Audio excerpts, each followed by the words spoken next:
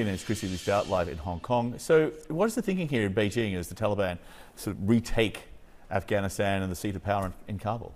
Yeah, China is quickly adapting to this new reality and putting the focus on stability. On Monday, we saw that the uh, Chinese Foreign Minister Wang Yi had that conversation with the U.S. Secretary of State Antony Blinken. Um, he slammed um, America's what he called hurried exit from Afghanistan, but also said that China would work with the United States in order to create, in China's words, a soft landing for Afghanistan, meaning introducing some form of stability to the country, with the goal here to avoid humanitarian humanitarian disaster, to avoid civil war, and to avoid a return to becoming a refuge or safe haven for, for terrorism. And even before the Taliban takeover, ties seemed to be warming between the Taliban and China. Remember, it was in July, just last month, when the foreign minister Wang Yi welcomed a high level delegation of Taliban leaders to the Chinese port city of Tianjin. And he called the Taliban an important political and military force in Afghanistan. Um, observers observers have, have called this a quote, reluctant embrace.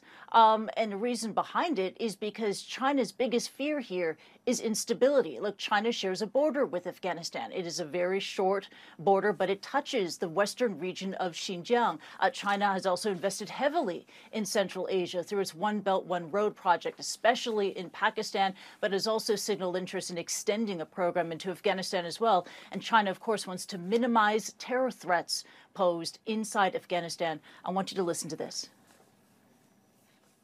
I think China is really quite worried that the instability and chaos on the ground um, in Afghanistan, factored with the Taliban's previous relationship um, and indeed ongoing relationship with um, the East Turkestan Islamic movement, they're worried um, that Afghanistan could become something of a, of a training ground um, for this group. Um, I think Beijing would be worried that um, that, that what's happening on the ground in Afghanistan would provide an opportunity for um, ETIM to to regroup and further their presence um, in Afghanistan.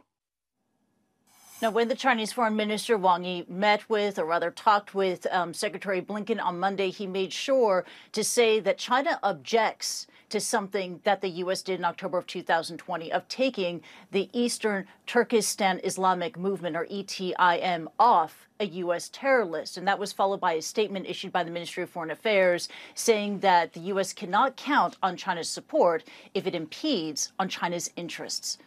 Back to you, John. Kristie Lu with all the details there as always in Hong Kong. Thank you. You got it. We have this.